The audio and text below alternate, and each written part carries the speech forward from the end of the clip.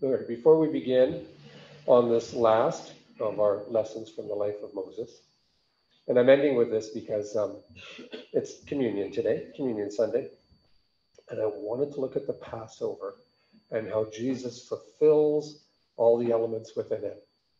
And maybe you know some of this. I, when I first came to faith, I think it was only a Christian for a month up in Whitehorse, Yukon, way, way up there in the far north. Um, a, a, group came from Jews for Jesus, and they did this amazing presentation on Christ in the Seder and how he he fills that. I want so I want to talk to you about that today. All right. It's the it's the what? Oh. now, this the Passover meal or the Seder um, is what the Lord instituted through Moses for the people to do in remembrance of being saved from out of, of Egypt. It's a remembrance, he said to Israel. But more importantly for us, um, it's how Jesus is embedded in the Seder. How, even though you know this is a truth, even though most Jews don't Jews don't recognize this truth, and, and never have. First of all, if you don't know about the Seder, it, it is the traditional traditional dinner celebrated again by Jewish families in remembrance of the, the, the coming out of Egypt, that, that time, the Passover, on the 14th um, day of the Hebrew month Nisan. Okay? And just to clarify, I'm going to go through a little bit of stuff here, and this is my opinion, and you can disagree with me if you want. That's okay, you can be wrong. Um, that this day fell on a Thursday in the year that Jesus died, okay, and was in fact the day that Jesus was crucified on, this 14th of Nisan. Now it was on Wednesday that Jesus and his disciples had the Last Supper, that final meal together, okay? Now, there's debate over this amongst all the smarty pants scholars, right? They, they debate this in and over and what days and oh, maybe no, no, that it was actually Tuesday that he had the Last Supper, and then there was a break on Wednesday, and then the, there's the day of preparation, and et cetera, et cetera, right? So we take all of that with a, a grain of salt. But my point is that if the Last Supper was on Wednesday, it was not a Seder meal. Just technically, the Last Supper was not a Seder meal, and often it's represented as that. Now, John 13, 1 says, it this way, and, and, think about it. John was written later than the other Gospels. And I, I think uh, there's a little bit more accuracy here when he says, now before the feast of the Passover. And so he says that they were meeting that night before the feast of the Passover. Okay. And interesting, though the other Gospels tell essentially the same story about, you know, they say that Jesus says, okay, um, go and find this man and, and, uh, and tell him to prepare a place for me and get that place ready for the Passover. We are never exp- explicitly told that they celebrated the Seder. Okay? Now I'm getting somewhere, don't worry. And then when those same Gospels, Matthew, Mark, and Luke, speak about uh, the bread that's used during the Last Supper, the word used is artos, and which is Greek for normal leavened bread, which is interesting right? So um, it's not the word that's used, uh, matzah, for unleavened bread.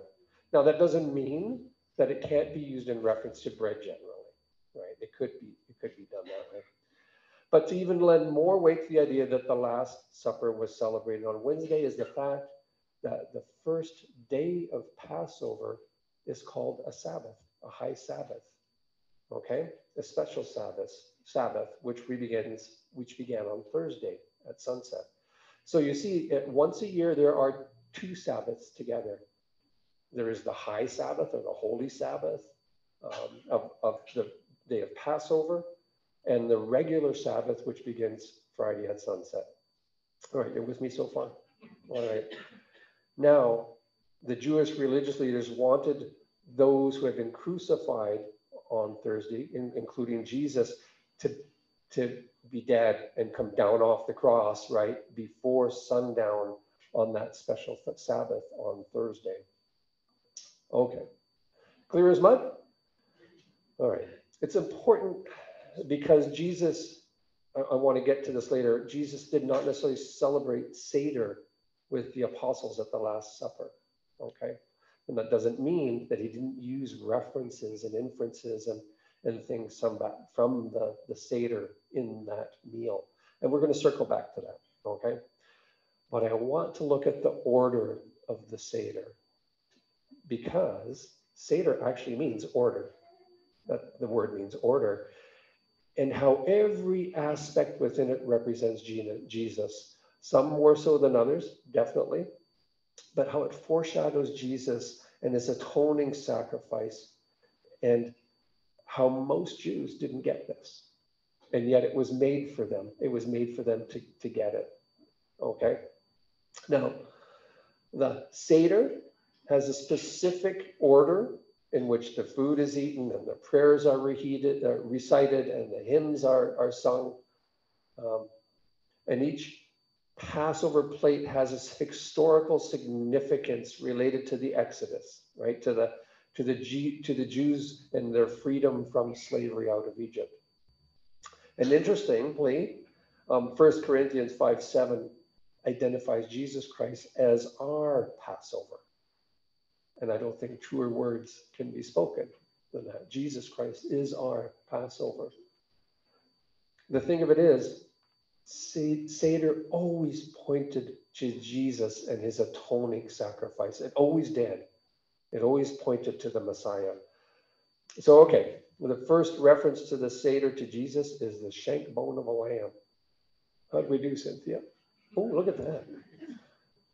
I, I always get Cynthia to try to find me these pictures. So, and this reminds those who are partaken in Seder of God's salvation, right?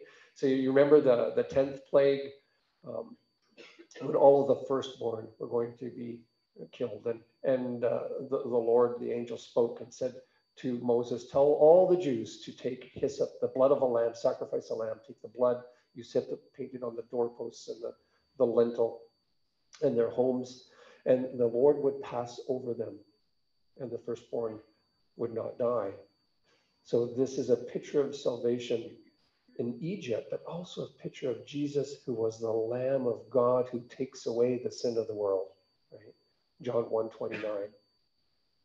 And the Jews were instructed that the lamb's bones could not be broken, right? Yet again, foreshadowing Christ's death on the cross. Now, I think the next and the most powerful picture of Christ in the Seder is in the matzah, or in the unleavened bread the, the people commemorated the fact that they had to leave Egypt in haste, right? They didn't even have time to, to let bread rise, to make leavened bread. And so um, they had unleavened bread. And so the Passover is followed by this week long feast called the Feast of Unleavened Bread. And uh, when I grew up, we were actually in a, uh, the Garner Ted Armstrong Worldwide Church of God from Pasadena, California. I don't know how many of you ever heard of that. And uh, we would actually have to remove all leaven from our house before Passover and that week. And, and it was a real serious business, right? And it was interesting that as Christians or quasi Christians, um, they were so focused on uh, the Old Testament and those things, but that's another story.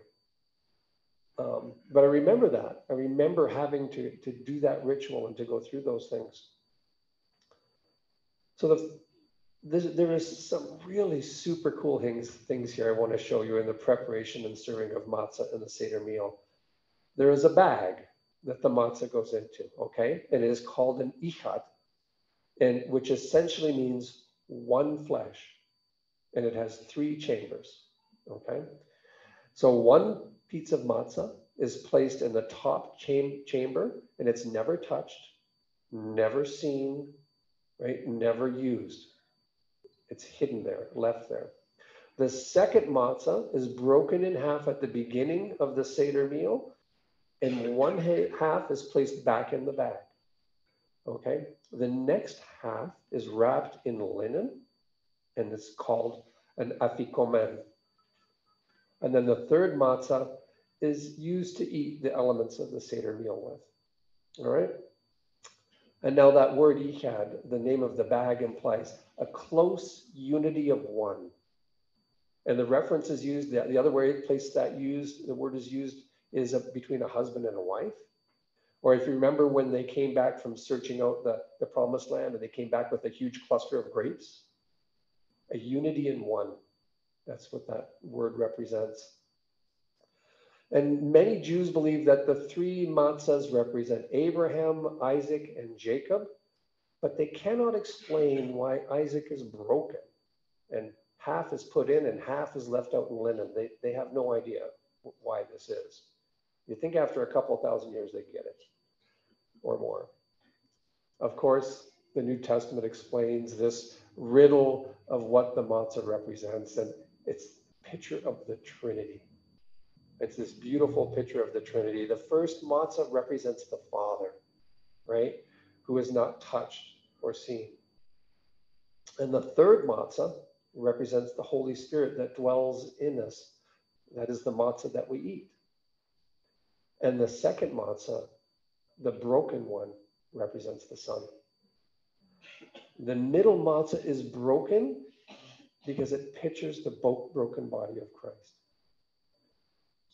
The half put back in represents the divine nature of Christ. And the half that is left out represents his humanity, Jesus' humanity and his time on earth. And the linen cloth represents Jesus' burial. And that during Seder, this cloth is hidden. And then after dinner, the children must go and search it out, must go and look for it. Then, after it is found, it is held for ransom. Isn't that so cool?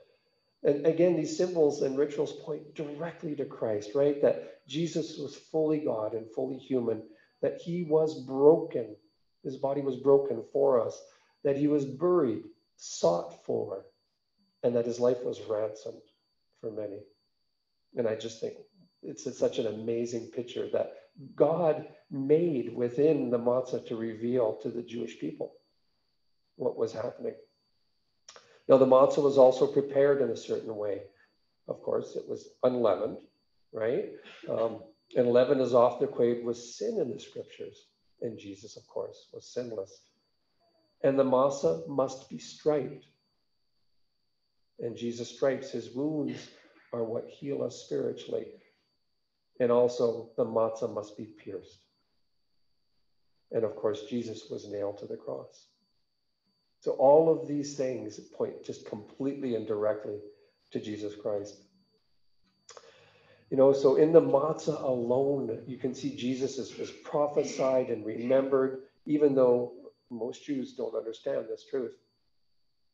Okay, and the, these next elements, they're, they're, not so full and rich in the in the in Christ as the rest, but there's always a reference there. And the next element in the Seder is karpas and it's a vegetable, usually parsley, and it's dipped in salt water and then eaten.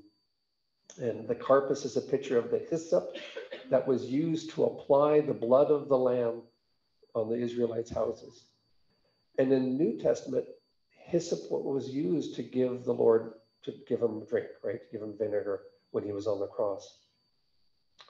Okay, the next is maror, or bitter herbs. And usually in modern times, they use horseradish, one of the most bitter of herbs. And this was used to remind the Jews that they couldn't offer sacrifice and worship to God. And this was more bitter to them even than their slavery to Egypt, that they were forbidden or kept from worshiping their Lord. The next is Haroseth or Charaset, which was a mixture of apples, nuts, wine, and spices. And it represents the mortar, remember that the Israelites had to make um, in order to make the construction of buildings in Egypt. And one of it's one of the only elements of the Seder meal that is sweet. And it's a reminder of the hope of redemption that we hold. Then came Bayatzan, it's a hard boiled or roasted egg. And this, these eggs were traditionally eaten by mourners. And the egg is eaten at Seder to remind those participating that they're always in mourning for the loss of the temple. So this came about after the, the first temple was destroyed and, and to remind them of that. In fact, the egg that is roasted reminds them of the roasting of the, of the sacrifice on the altar before the Lord. And finally, there are four cups of wine used at various points during the Seder, and each has a name. The first is the cup of sanctification. The second is the cup of judgment. The third is the cup of redemption. And the fourth is the cup of praise. And, you know, whether Jesus celebrated, whether it was a Seder meal that he celebrated at the Last Supper or not, um, these cups of wine do have significance in, in what he instituted in the Last Supper. And then this final note on the Seder. Just think of this. In Exodus 6 6, the Lord promises people he would save them from out of Egypt and slavery. And you hear throughout the scriptures, you hear Father God say in the Old Testament, oh, repeatedly use these words I will redeem you with an outstretched arm. Right? Isn't it more ministering, don't you think, that we are saved from slavery to sin and death by Jesus? Outstretched arms. So, you know, here you have the entire Seder is a picture of the redemptive work of Christ and his love of God and for his children. All right, so we before we go into communion, um, let's just take a moment in prayer. Heavenly Father, thank you so much for this picture. Um, more than that, this this truth of how you revealed your son Jesus Christ, even in the institution of the Seder meal, long before he came. And uh, we thank you so much that there's such vivid, vivid truth here.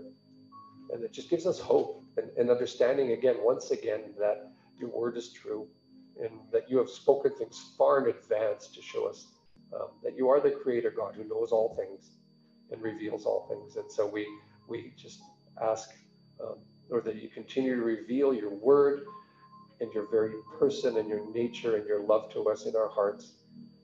And as we come forward in this time for communion, uh, Lord, I ask that you would uh, bring us that peace that surpasses understanding and prepare us to partake in the bread and the cup together. Amen. All right, I'm going to come forward, and if uh, actually, if you guys could wait a bit, it's going to take me a moment. Yeah, Mark, actually, could you come down and help me move the table?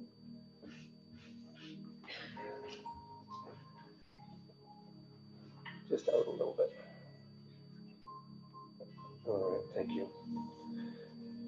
Actually, you could have a seat for a little while. This is going to take a moment. You know, again, Jesus had this meal together on the night, uh, it's called the night that he was betrayed, right? That he had this meal together. Now, even if it wasn't a Seder, it doesn't mean that Jesus didn't allude to these very powerful truths that are within the Seder meal. And remember, Jesus is Lord over the Sabbath, even over the Sabbath, right? You think about the fact that he is part of the Trinity. He created all things. He made all things in heaven and earth, and he's not bound by any of anything. And again, there are two Sabbaths, right? We have the high or the holy Sabbath on the first day of Passover, the 14th of Nisan. And then we have our, our week, the weekly Sabbath, which began um, Friday evening at sunset. So, Jesus, having been captured on Wednesday evening, um, taken in secret, you know, captured in the Garden of Gethsemane, taken in secret in the dark to the, the council, if you like, before the Jews, and then to go before Pilate, and then taken to the cross. And remember that the Roman guards were instructed by the Jews through Pilate to go and make sure that they were dead. And when they got there, to break their legs. Isn't that a wonderful thing? So they would die quicker. Jesus had already passed. And this was to fulfill the prophecy that his leg, not a bone would be broken, that he truly was the Lamb of God who took away the sin of the world. And the Romans always, you know, it's interesting that they did this at the behest of the Jews, even the crucifixion so many ways. And Jesus was in the tomb three days and three nights. So Thursday night, Friday night, Saturday night, he was in the tomb and he rose on Sunday. And all this is in keeping with prophecy. It proves that Jesus is the Messiah. And I think that's one of the wonderful things about the Seder meal again, is we see the truth of Jesus Christ as the Messiah within it. And during this last meal, this Last Supper, Jesus used elements of the Seder, of this special remembrance of salvation for all people. And I think he did this because he wanted this last meal to have great significance. It's interesting that you, you normally celebrate the Seder with family, but he celebrated it with the apostles. And again, this is a picture of us, of the church, of Jesus celebrating with his church, with the bride. And it's so interesting that in Jesus, the Passover was no longer about something historical, something that God had done, but what God was going to do in Jesus Christ in that next day, what he would accomplish in him. The bread which is broken represents Christ's body, which was broken for us. And it's interesting that it's seen in the matzah, the broken matzah, and yet the Jews didn't understand. The glass of wine that Jesus held up was the cup of redemption that's mentioned in the Seder, right? And he says explicitly that this cup is poured out for you in the new covenant in my blood. And then, and all of this, Jesus pointed to the Seder and showed how he fulfilled it. He was the unblemished lamb sacrificed, right, for all of us for our sin, that we might have life and life eternal. He was the bread, the body that was broken on the cross for us. He was the redemptive one, the one whose blood was shed for our redemption, that we would have life and life eternal. All right, before we uh, begin with um, communion, I'd just like to remind you that we are serving it in two cups. Um, the, the, wine is stacked upon the cracker that's underneath, which is gluten free. If, so if you have that kind of allergy or problem, you don't have to worry. You can partake in the bread. Um, it may not be the tastiest in the world, but we can all partake together, right? Think of it as a bitter herb. no.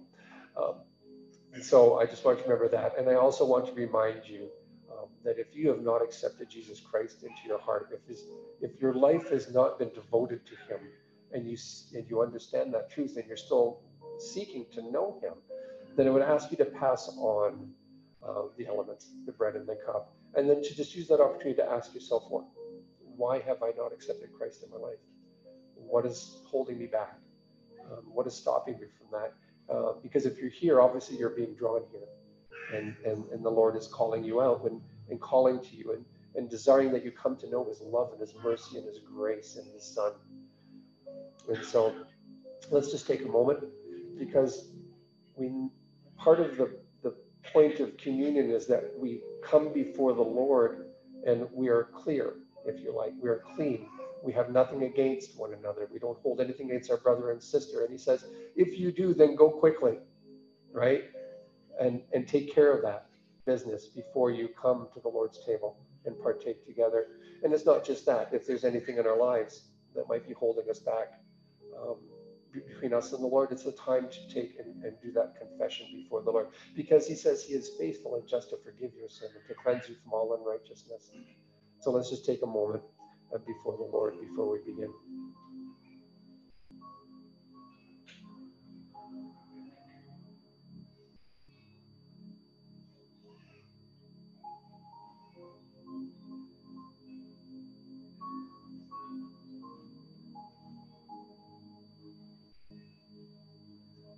Vincent, would you please come up? And Mark? And Terry, thank you. All right, let's pray together. Heavenly Father, thank you so much that we can come together in this way. It is the, the blessing and is the privilege of the body, your bride, that we can come together and celebrate um, this Passover, if you like. I love those words in the scriptures that you are our Passover, that it is you who redeems us. It is the price that you paid as the precious lamb, the sinless lamb who takes away the sin of the world. And so we come to celebrate that today. We come to remember, uh, memorial you, to remember you. And we do this because uh, not just that you institute it, because it's in our heart and because it draws us close to you. And it draws us close to each other because we don't do this alone. We do this in your name and we do this together as the body of Christ. And so we lift this time up to you, Lord Jesus, and we praise you and we thank you. Amen.